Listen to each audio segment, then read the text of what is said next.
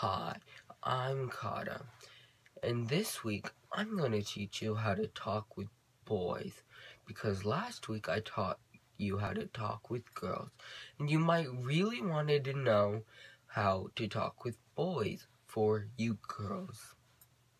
So, first step, make sure you figure out what sports they like, and once you do that, you bring the play playable type disc or ball or water, depending on sport.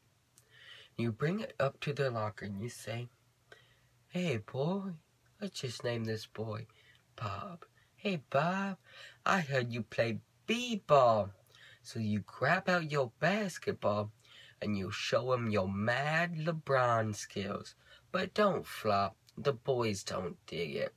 Trust me on this one. I always like the ladies who got the b-ball skills and how they go between the legs. Oh man, I will tell you, boys will always dig those ladies.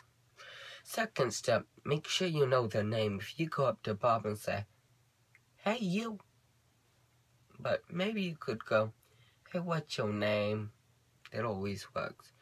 And for our last step, make sure that you always text them or get the number. If you don't have the number, do some blackmailing and talk to people and say, Hey, I got this. Now give me his number so I can talk to Bob.